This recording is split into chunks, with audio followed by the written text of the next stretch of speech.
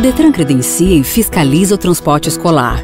E você pode ajudar não contratando veículos irregulares ou clandestinos. Eles escondem muitos perigos para o seu filho: excesso de lotação, falta de manutenção e ausência de alguém cuidando das crianças já provocaram e podem causar mais acidentes.